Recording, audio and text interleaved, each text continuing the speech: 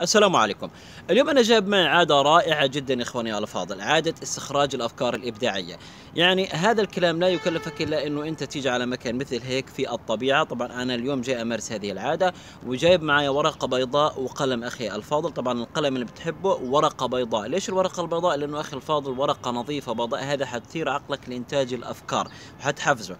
أيضًا حاول إنه أنت أخي الفاضل تكتب سؤالك أو مشكلتك أو الفكرة اللي أنت بدك تستخرجها من هذا العقل على شكل سؤال، لأنه دائمًا الأسئلة يا جماعة بتثير العقل إنه يستخرج الإجابات بشكل يعني آآ محفز ومثير، فاكتب المشكلة أو الفكرة أو الشيء اللي أنت بدك إياه أخي الفاضل لإله كحل على شكل سؤال، وصيغ هذا السؤال أو اكتبه على الورقة البيضاء، وبعد هيك اكتب من 6 إلى 7 إجابات، حتجد الحل بإذن الله تعالى أو الفكرة اللي أنت بتبحث عنها. طبعًا باذكرك في نهاية هذا الفيديو ما تنسى تتابع حسابي وتشترك في القناة وتتابع كل جديد. وربنا يسعدكم.